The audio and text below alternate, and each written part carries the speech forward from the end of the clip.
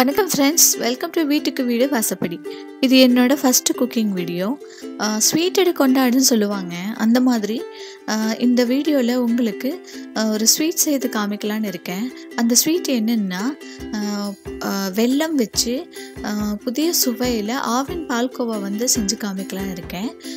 வாங்க வீடியோக்குள்ளே போகலாம் ஆவின் பால் ஒரு லிட்டர் வச்சுருக்கேன் ஃப்ரெண்ட்ஸ் ஒரு நூற்றம்பது கிராம் அளவுக்கு வந்து வெல்லம் வச்சுருக்கேன் அப்புறம் கீ வச்சுருக்கேன்.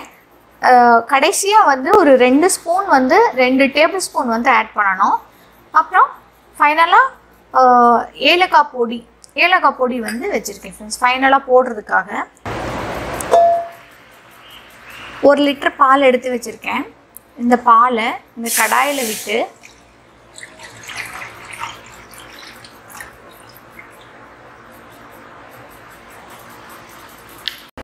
இந்த கடாயில் விட்டு நல்லா ஃபுல்லாக வந்து ஆம், சுண்டுற அளவுக்கு நல்லுக்கு நல்லா காய்ச்சிக்கோங்க. டுவெண்ட்டி ஃபைவ் மினிட்ஸ் ஆயிடுச்சு மில்க் பார்த்தீங்கன்னா கொஞ்சம் நல்லா கெட்டியாக ஆரம்பிச்சிருச்சு.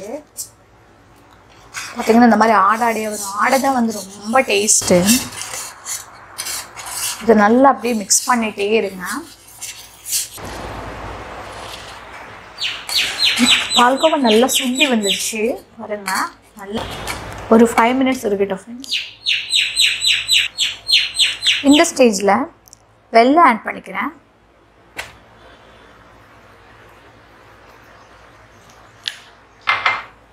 ஆட் பண்ணி நல்லா மிக்ஸ் பண்ணி விடுங்க.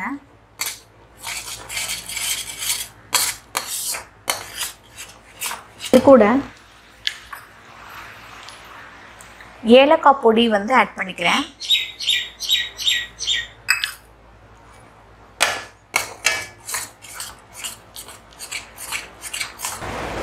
பால்கோவா திக்கான கன்சிஸ்டன்சிக்கு வந்திருக்கு. பாருங்க. இந்த டைமில் ரெண்டு ஸ்பூன் நெய் வந்து ஆட் பண்ணிக்கோங்க.